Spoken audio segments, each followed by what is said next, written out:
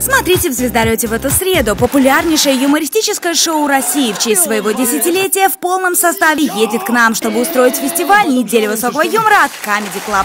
Подробности о гранд-финале конкурса Евро Юрмала с лучшими коллективами из разных стран, а также с Ольгой Пирекс, Роберто Мелони и Натальей Тумшевец. И об 11 международном фестивале юмора Юрмала-2013 с Михаилом Жванецким, Игорем Маменко, Веркой Сердючкой и еще со 150 участниками. Подробнее не пропустите в «Звездолете» в эту среду.